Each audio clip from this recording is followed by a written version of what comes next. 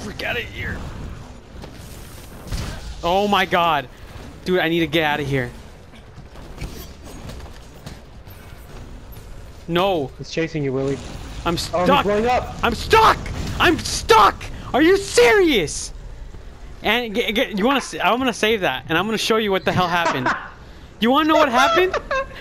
Hold on, I have to go pee.